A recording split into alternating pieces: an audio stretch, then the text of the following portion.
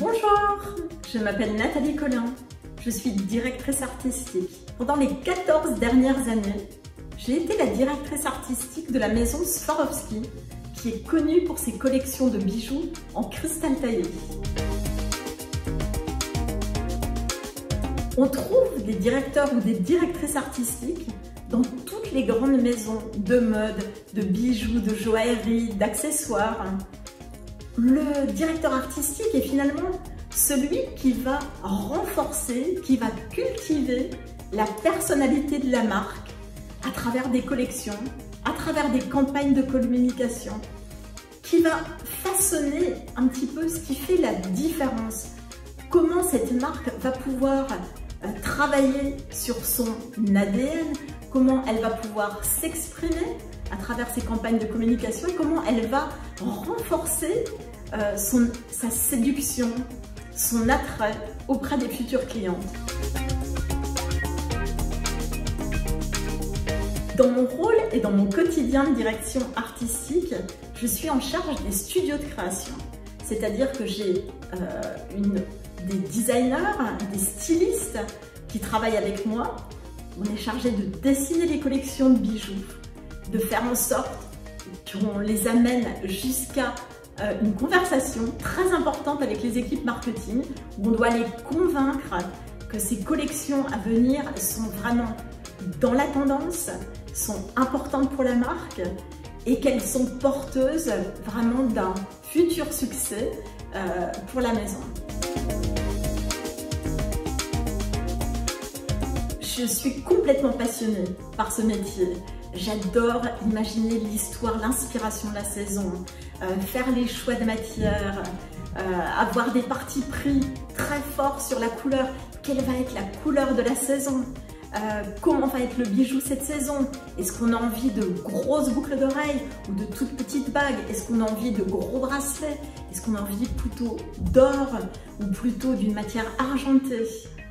Tout ça, ce sont des questions qu'on se pose à travers le processus de création. Donc c'est euh, ce métier que j'exerce vraiment par passion, comme vous, le, pouvez le sentir.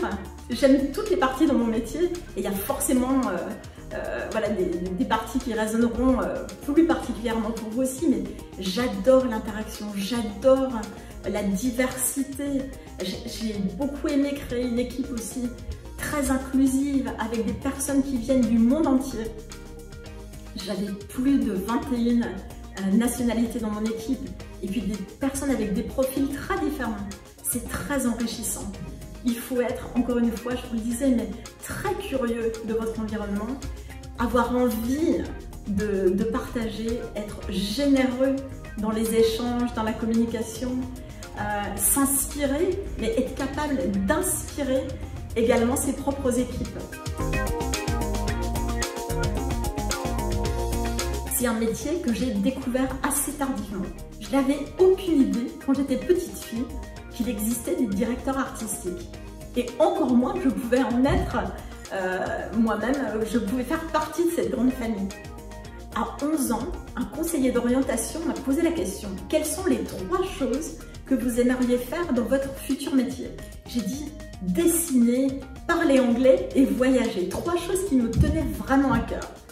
Et je peux vous assurer que ces trois choses font partie aujourd'hui de mon métier, du quotidien de mon métier. Donc vous allez me dire, vous avez euh, finalement atteint vos rêves. Oui, mais ça n'a pas été euh, une ligne droite. Il y a eu beaucoup, beaucoup de détours.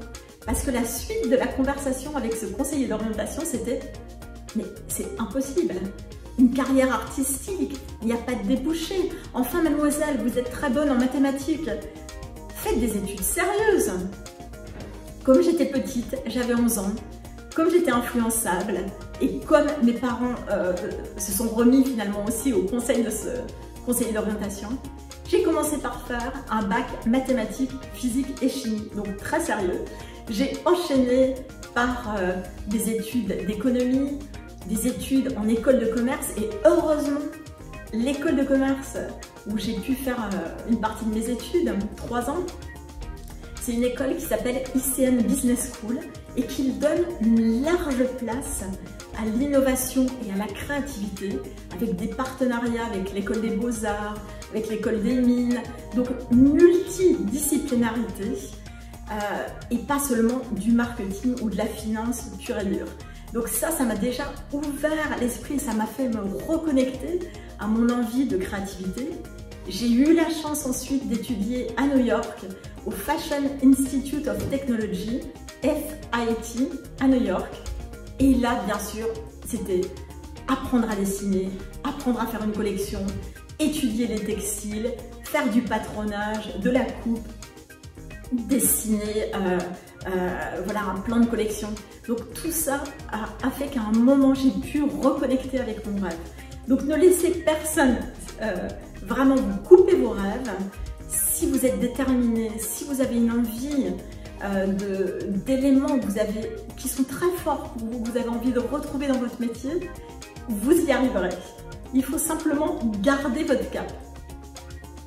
Et si j'ai un autre conseil à vous donner, c'est que dans ce métier de direction artistique, il faut être très curieux.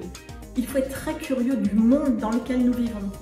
Puisqu'on ne dessine pas des collections qui sont destinées à être exposées dans un musée. On dessine des collections et on imagine des collections et des campagnes de communication qui doivent résonner dans le cœur des clientes.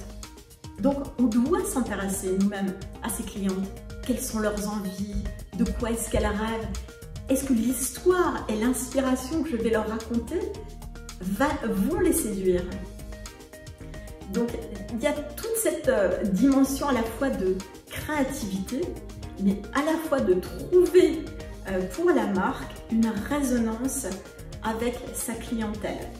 Donc c'est très important de comprendre que la, la création doit s'inscrire dans un périmètre euh, qui est le périmètre d'expression de la marque, dans lequel elle, euh, voilà, elle a des concurrents, elle doit se distinguer, elle doit se différencier, elle doit s'affirmer, elle doit se renouveler, se réinventer, elle doit surfer sur la tendance, mais sans perdre sa personnalité. J'avais également euh, chez Swarovski le plaisir de faire partie du comité de direction, donc je pouvais aussi porter la voie de création sur tous les grands sujets stratégiques de gestion d'entreprise. Et ça, ça a été passionnant également pour moi.